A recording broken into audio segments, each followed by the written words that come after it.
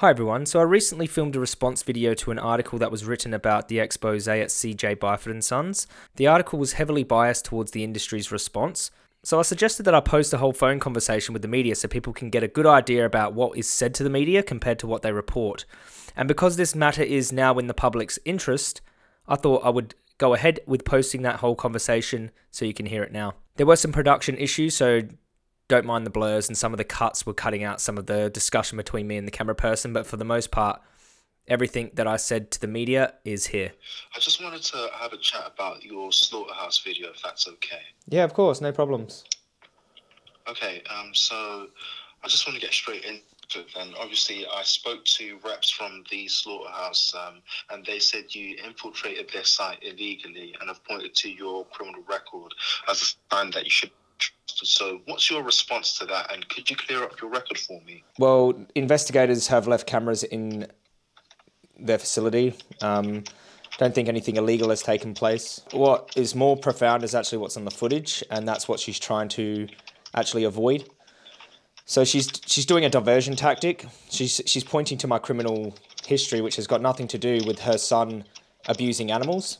He clearly was frustrated with the cow, grabbed the cow by the nose, pulled the cow's head down, swore at the cow, and bolt, bolted them in the head, and then said, "How does that feel?" The cow was clearly not stunned correctly, actually. So you could see the cow flailing around um, when he was putting the knife in the cow's neck. Tell me, tell me about the whole process of creating the video, like how you found out about the slaughterhouse, when you decided to get the footage, all that stuff. Um, so I was tipped off by investigators about this place, and um, we were hoping to find uh, dairy cows uh, being slaughtered, and it turned out they were they were local beef cattle. Um, a lot of people think that because a slaughterhouse is local and only slaughters local animals, that it's somehow different to what what happens in other slaughterhouses. Just trying to dispel that myth the animals in the footage were distressed, were bellowing out. They were clearly trying to escape the knockbox. Um, one of them ripped their horns off in the process. They were so terrified. She gave the impression to me that everything was all super humane and nice and kind in there, and the animals had no idea. One thing she did say to a concerned uh, consumer who'd emailed her, and I've made another video about this, is that the footage was fake and doctored. Mm, yeah. So, so I'd like to know which one is it? Is the footage fake and doctored, or is it because I'm a criminal? What is her excuse? You know what I mean? Like it, these seem like diver- ridiculous diversion tactics. I have a criminal history that, and I haven't reoffended for nearly ten years. I've been sober and vegan, and now I fight for animals. What has that got to do with her son currently committing acts of horror to animals in her slaughterhouse? Um, it's just it's absolutely absurd and ridiculous. Um, so the footage doesn't lie.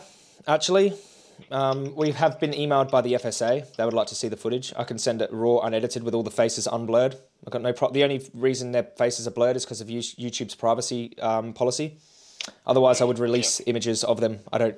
I don't think they should. Um, this this is a matter of public interest. Actually, um, that she's she's gaslighting the public because I told her I was media. She lied to me.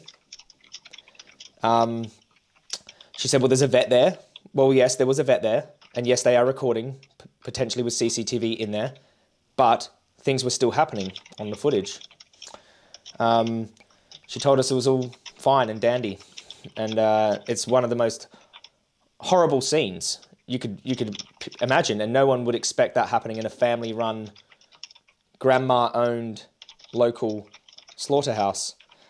But what we're trying to show is that it doesn't matter if it's a slaughterhouse. It's a slaughterhouse. The animals go in against their will, and come out chopped up into pieces. Why do people think that the animals submit willing to, willingly to this? It's just uh, even even if the animal was stunned correctly, the ones uh, there was one that was that animal bellowed out in fear beforehand. They saw they could clearly see other animals being chopped up. The the the slaughterhouse owner lied to me and told me that they didn't, they couldn't see that other animals being chopped up, but they could. But my position is that we shouldn't be doing this to them at all. Whether whether uh, they they because they don't even adhere to their own standard of what they say is humane. Actually, uh, you know, so the story they tell the public is that it's all they do it uh, in this humane way. I don't think there is a humane way to kill someone. Actually, I think that um, the very act of robbing these animals' existence from them once they once they are alive and conscious, to kill them for a, a steak or a sandwich or a burger is not justified. I don't think. I, I think that, that that can never be humane.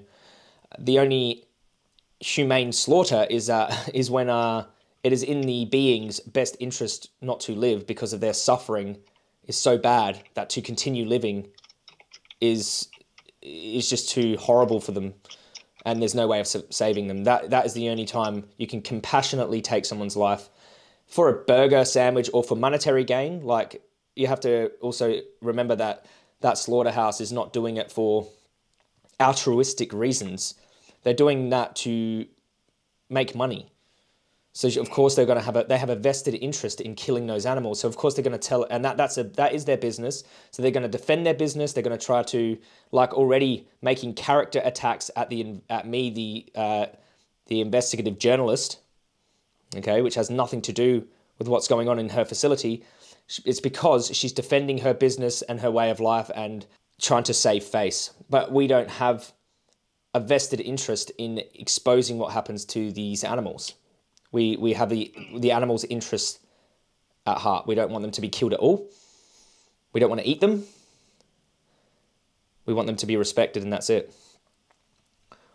Mm, yeah, yeah, I totally get where you're coming from in terms of all this. So, um, just the final thing that I wanted yeah. to ask Joey is, do you have any pictures or photos of the slaughterhouse that you can send me um, or do you have like could i take like stills from the video or something that i can use for the story you have my complete permission to use anything that is public access of mine okay great that's great. Um, so honestly, Joey, this was a pretty quick chat. That's all I needed from you. I okay. just needed to clear some things up. So okay. that was great. Thank you. Thank you. no that. worries. I appreciate it. Um, I uh, hope to. I'll, I'll, publish your article when it, when it's published.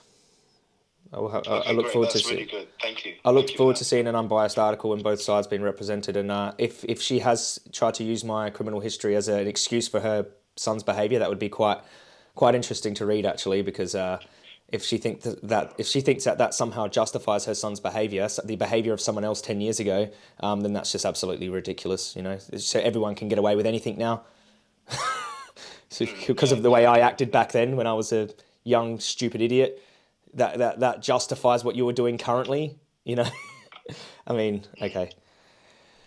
Yeah, I get what you mean. And just to be fair um, and to be clear, it's um, the statement that I got was from the representatives of oh, really? the slaughterhouse. Not yeah, not the slaughterhouse themselves. So.